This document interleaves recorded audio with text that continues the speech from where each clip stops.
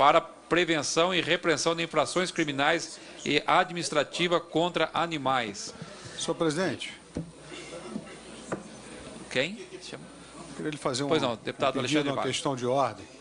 Eu vim aqui na comissão pedir encarecidamente o apoio de vocês. A minha cidade, Itaguaí, no Rio de Janeiro, vem passando por um problema seríssimo com relação à segurança pública.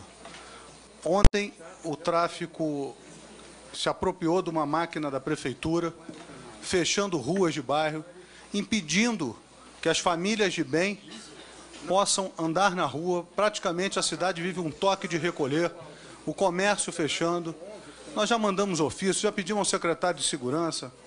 Eu quero impedir encarecidamente o, o apoio desta comissão para que o ministro Jugman, que está lá com a operação no Rio de Janeiro, nos auxilie nesta questão. Itaguaí hoje, que é uma cidade importante para o Rio de Janeiro, estamos fa- fabricando submarinos nuclear, temos portos importantes, uma cidade é, em crescimento, mas a insegurança tomou conta da cidade. As pessoas de bem não podem mais andar na rua.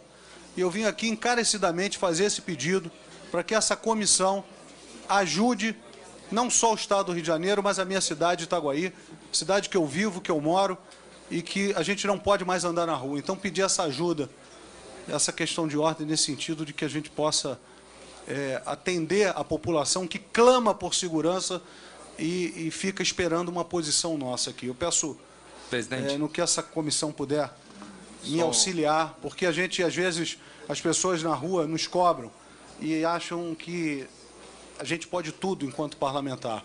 Eu vim aqui pedir o apoio dos meus colegas, não só do Estado do Rio de Janeiro, mas dos demais estados, porque a situação no Rio de Janeiro está insustentável. E é inadmissível que as pessoas hoje, nem a igreja estão podendo ir mais. Chega igrejas que estão precisando mudar o horário do seu culto porque não podem mais em função da violência. É esse apoio, esse apelo que eu venho fazer aqui a essa comissão, porque essa aqui é a casa e um momento oportuno. Fica registrada o pleito, deputado Alexandre Só um Vale. minuto deputado até Marcelo respondendo e